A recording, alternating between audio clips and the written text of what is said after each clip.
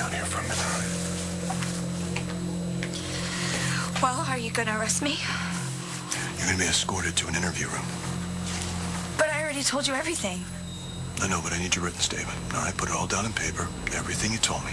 Don't leave anything out, okay? All right, this way.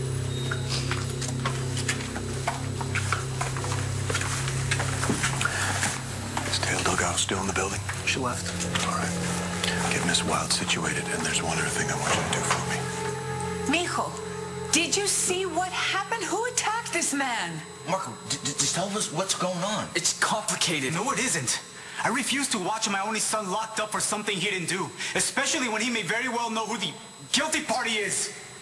Wait, hey, hey, where are you going? To get your lawyer, she needs to know what's going on. No, no, Poppy, just let me handle this. Your father's right. Enough is enough.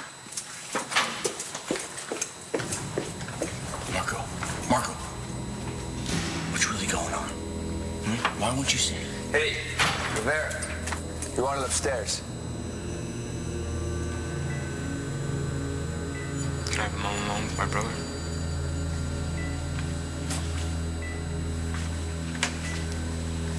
Hey, Bobby. It's me. James. That's what happened, isn't it? Starr and her father came to you and told you they think I'm the one who pushed you down the stairs, that I'm the reason you lost your baby. Why do you think they tell me that? Because they think I want Cole. And that I'd hurt you to get to him. I mean, have you ever heard of something so crazy? Yeah, I've seen and heard a lot of crazy things. Worse than this. It Doesn't get much worse than defending your rapist. The worst part is that Cole believes it's best for us to be apart right now. He doesn't even want me to come visit him anymore. Well, you'll come through it. You have to. You guys can beat anything. Oh, I hope you're right. Hey, look, if you ever need to talk about Matthew or this mystery guy... There's nothing to say about Nate. Nate? From the play? We kissed once. Okay, twice. Barf. What was that? My god, are you spying on us? Why would this Nate guy kiss you? Is he blind? I'll show you blind. Okay, okay, okay. Jack, get back here. I'll kill you. Well, doesn't this just warm my heart? Oh my. Yeah, Bo, we've uh, we've got uh, we got new evidence on the uh, on the Ford case. I'm not sure, but it could change everything. No, don't worry about it. I'll let you know. Enjoy your honeymoon. Okay. How you holding up? Fine. Um, is Téa coming? No, no, no, she's not. Then I, I don't get it. I mean, I thought you weren't allowed to question me without a present. No, Markko. This isn't a, an interview.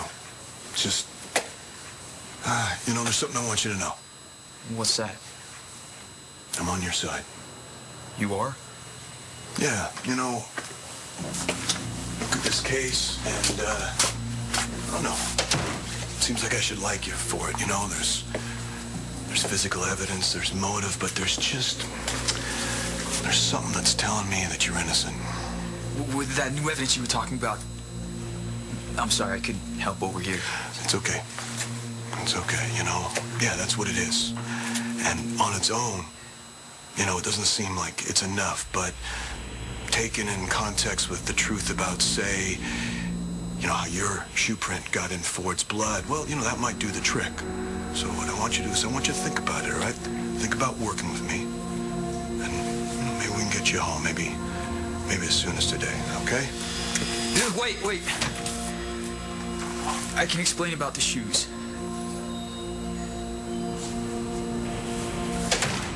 I'm listening.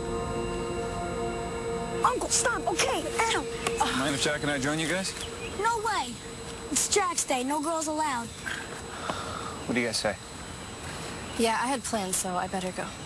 Do you really have to go? Yes. She has to. We'll hang out later, I promise. Bye, Hopi. Later, scaredy. I'm not scared. Uh-huh. Glad we dodged that bullet. I want to fly my mini chopper. I want to scare some old ladies. All right, then get it set up. Thanks.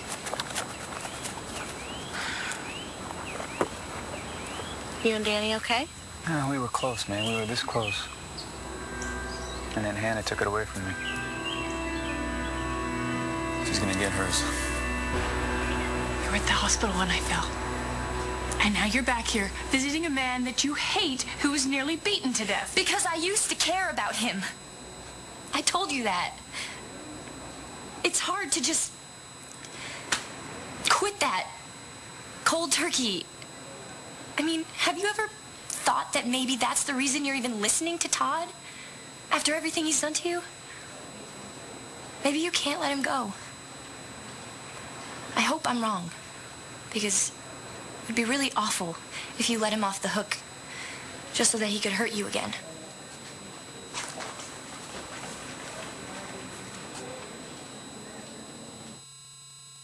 She better not do anything of the sort.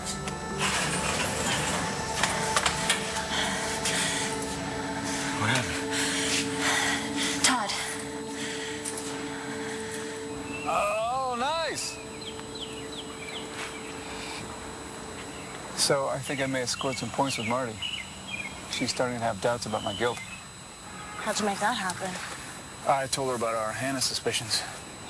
I already told her that at the bail hearing. Then we're getting through to her. Dad, I don't think we have time to keep working on Marty. That's why I'm focusing on Hannah. I tried to worm a confession out of her the other day, but she wouldn't bite. I did get some good stuff, though. Like what? Well, I think she may have been the one to bash that TA's brains in. So walk me through it. How does your bloody shoe print wind up in Ford's room when you said you never went back to the apartment? Because I did go back. Ah. I did. I told you, Cris and Layla left me at the Buenos Dias.